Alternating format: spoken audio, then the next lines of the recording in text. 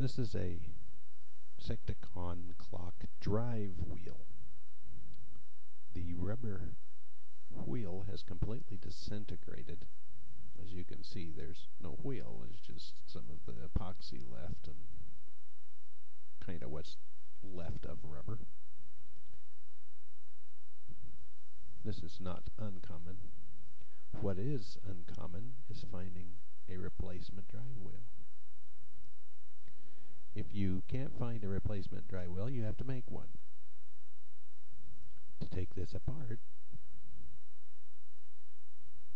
the star wheel is crimped, light crimp on the end of this shaft, and it has to be timed exactly like it is. So you have to mark it and put it back. This shaft in the center right here is one piece that goes all the way through to the back side. This can be taken apart your staking tool.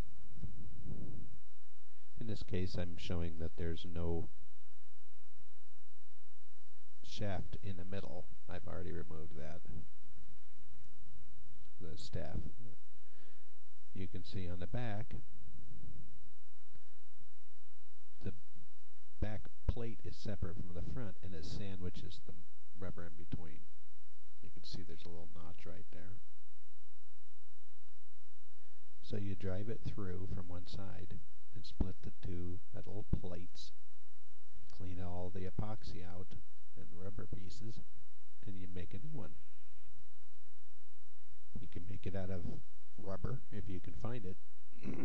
That's exactly 0.55 millimeters thick, or like this one, which is made out of a piece of a circuit board out of an electronics device the circuit board exactly 0.55 millimeters thick. The diameter is 6.460 millimeters.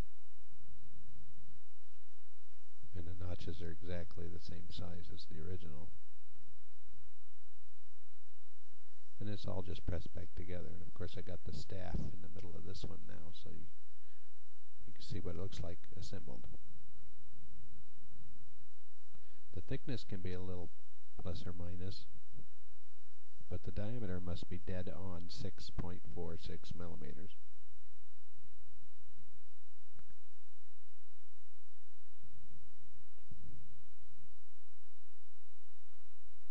And there it is, ready to roll.